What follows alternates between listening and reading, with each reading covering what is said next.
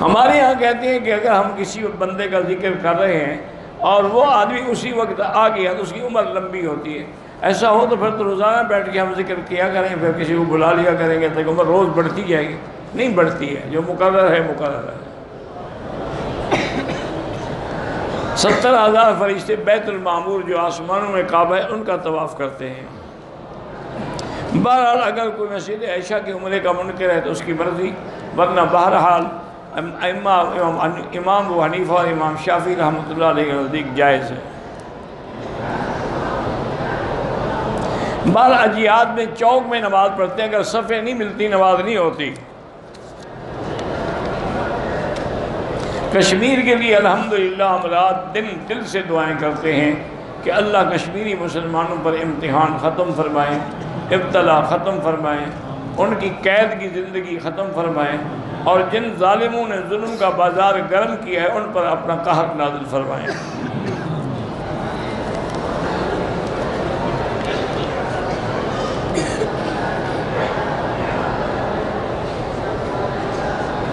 بہرحال گزارش یہ ہے کوئی آدمی چرس بیچتا ہے، یہ نہیں کہ نماز قبول نہیں ہوگی، کافر تو نہیں ہے نا، مسلمان تو ہے گناہ گار ہے ایک آدمی چرس بیچتا ہے، ایک آدمی جھوٹ بولتا ہے، ایک آدمی غیبت کرتا ہے، تو وہ گناہ گار نہیں ہے بیوٹی پارلر کا کام جو ہے وہ ٹھیک ہے عورتوں کے لیے، لیکن اس میں وہ بھویں شمیں نہ کاٹا کریں، بریک نہ کیا کریں۔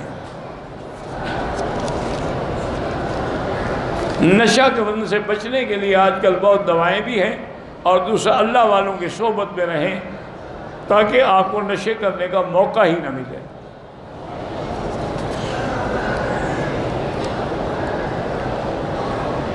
اللہ ہر مسلمان کو حرمین الشریفین میں عبادت کی، طواف کی، عمرے کی، درس کی توفیق دیں۔ دو طواف لگاتار کر لیں بعد میں دو دو رکعت پڑھ سکتے ہیں۔ جن عورتوں کے حمل گر جاتے ہیں، اللہ ان کو بھی اجر دیں گے۔ انشاءاللہ ان کو جنت میں اللہ جزا دیں گے۔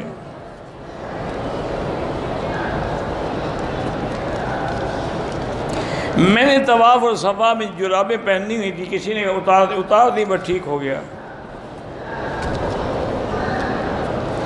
نماز کی پابندی ہے، لیکن ایمان پکا ایمان پکا نہ ہو تو نماز کیسے پڑھیں؟ ایمان ہے تو نماز پڑھ رہے ہیں۔ بلا وجہ نہ شک میں پڑھا کریں۔ لیکوریا کی وجہ سے وضو نہیں ٹوٹتا ہے، وہ تو مجبوری ہے اس کی۔ لیکن احتیاط اسی میں ہوتی ہے کہ ایک نماز کا وضو کرے تو اگلی نماز تک پھر نیا وضو کر لیں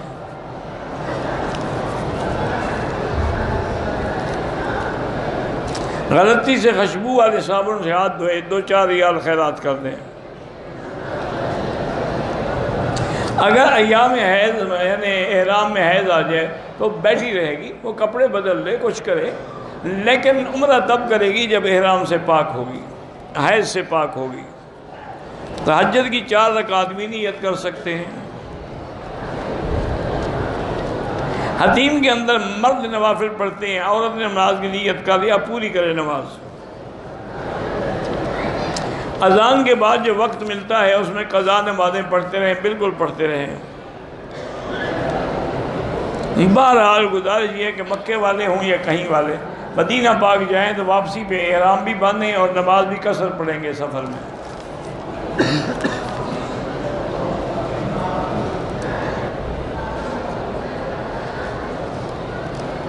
کسی نے پوچھا تھا کہ حیض کی حالت میں عورت قرآن نہیں پڑھ چکے، ناپاک ہے، اس لیے نہیں پڑھ سکتی۔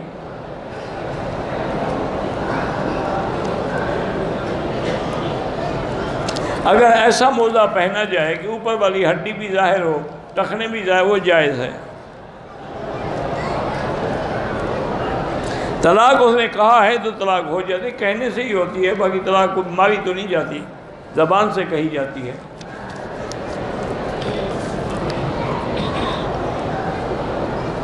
فرض نماز کے بعد الگ الگ ذکر کیا کریں۔ سبا تعاروں کا معنی ہے سبا کی راحت آج بھی الحمدللہ سبا کے قاری موجود ہیں۔ میری اولاد نہیں ہے، اللہ پاک سے دعا بھی کریں اور صورت یوسف پڑھ کے دعا کیا کریں۔ میرے شوہر کی نوکری نہیں ہے، اس کو کہو استغفار زیادہ پڑھے اور دو رکعت روز پڑھ کے دعا کیا کریں۔ چکر بہت زیادہ آتے ہیں، بیماری ہوتی ہے، اس کا علاج کرا لیں تو بہتر رہے گا۔ اٹھارہ سال ہوئے، شادی کی ایک بیٹا ہے، اللہ قادر ہے انشاءاللہ، اور بھی عطا فرمائیں گے۔ آپ دعا کیا کریں، سورت یوسف پڑھ کے۔ کرسمس کی مبارکباد نہ دیں، چونکہ کافروں کی رسم ہے۔ گھر میں سفید کتا رکھو یا کالا رکھو، رکھ سکتے ہیں، لیکن نگرانی کے لیے۔ حتیم میں نفاوت ادا کرنا ضروری نہیں ہے۔ موقع ملے، پڑھ لو، نہ ملے، نہ پڑھو۔ کالے جادو کا توڑ سورت البقرہ ہے۔ ٹیلی فون فیڈ کر کے ہیڈ فون لگا کے سنا کریں۔ کبوتر پالنا جائز ہے جائز ہے لیکن اس کی کھیل میں نمازیں نہ ضائع ہو جائیں۔ آئی وی ایف جو ہے، عورت کیسے کراتی مجھے نہیں پتا وہ کیا ہوتا ہے۔ پانچ بیٹے ہوں تو عقیقے کے لیے دس بکرے ہوں گے، ہر بیٹے کے لیے دو بکرے۔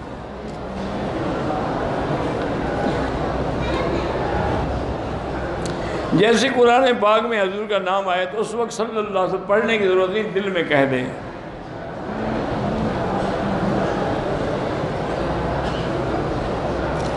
حضور صلی اللہ علیہ وسلم کے نام جو ہیں، قرآن پاک میں احمد بھی آیا ہے اور محمد بھی آیا ہے۔ باقی علماء کہتے ہیں کہ بھی بھی آپ کا نام ہے، یاسین بھی آپ کا یہ قول ہے یہ صحیح احادیث میں ثابت نہیں ہے۔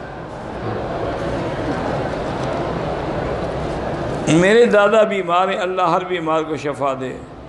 خواب میں عمرہ کیا ہے تو اللہ عمرہ نصیب کریں گے انشاءاللہ۔ میں نے عمرہ کیا حلق نہیں کرایا، پاکستان بھی آ گیا، ماشاءاللہ دم پڑ گئی۔ آپ پیسے بھیج کے مکے میں دم کروائیں۔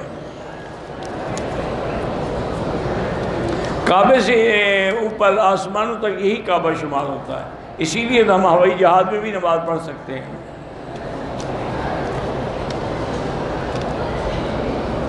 حرم شریف میں جو زمزم ہے، وہ ہم لے جا سکتے ہیں، لے جائیں۔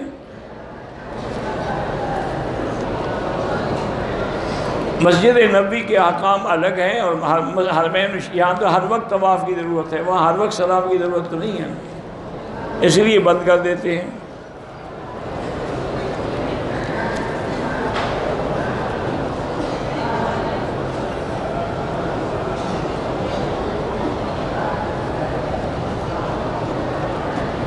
پتہ نہیں کہ لڑکی زبردستی کر کے فون پر لڑکے کے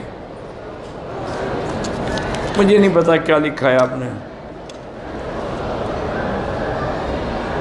نہیں مجھے نہیں پتا بالکل پڑھا نہیں جاتا۔ امام کی داڑھی نہ ہو تو نماز نہ پڑھیں شیعہ کی بنائی ہوئی چیزیں نہ لیں تو زیادہ بہتر ہے۔ ایک احرام بغیر دھوئے دوسرا عمرہ کر سکتے یہاں کر سکتے ہیں۔ جب مواجہ شریف میں کھڑے ہوں تو وہاں آپ السلام والسلام علیکہ یا رسول اللہ پڑھ سکتے ہیں۔ دوسرا عمرہ کرنا ہے تو مسجد عائشہ سے کر لیں یا جیرانہ سے کر لیں۔ خانہ کعبہ حتیم مقام ابراہیم کا بوسہ لینا نجائز ہے، نہ ہاتھ چھوڑنا نجد ہے۔ طواف اپنے لیے کر کے کسی کو ثواب بخشن کر سکتے ہیں۔ طواف کے دوران حضر اسود کو بوسے کا موقع نہ ملے ہاتھ سے اشارہ کر دیں۔ دعا سے زندگی بڑھ سکتی یہی لکھا ہوتا ہے کہ دعا کرے گا تو اتنا، نہ کرے گا تو اتنا۔ ورنہ اللہ کا فیصلہ وہ تبدیل نہیں ہوتا۔ داڑھی کے بغیر آدمی اذان دے سکتا ہے، اذان تو دے سکتا ہے، لیکن ایسے لوگ مؤذن نہ رکھا کریں۔ سود کا کاروبار کرنے والے کو بھی امام نہ بنائیں۔ عمرہ ادا کرنے کے بعد صفا مروا کے بعد بال نہیں کٹائے تو اپنے ہوٹل میں جا کے عورت کاٹ لیں۔ اگر بالکل نہیں کٹائے تو آپ بال بھی کٹائے اور دم بھی ادا کریں۔ بارہ جن کی اولاد نہیں اللہ ان سب کو اولاد تا فرمائے۔ اگر حیض کو روکنے کے لیے دوا استعمال کریں، کر سکتی ہیں۔ میری کوئی اولاد نہیں، اللہ سب کو صاحب اولاد کرے۔ بٹیرے لڑانا بالکل نجائز ہے۔ ایک آدمی نے باب فہد سے طواف شروع کیا، وہ طواف نہیں ہوا۔ طواف حجر اسود سے شروع کیا جاتا ہے، نہ کہ باب ملک فات سے۔ واللہ عالم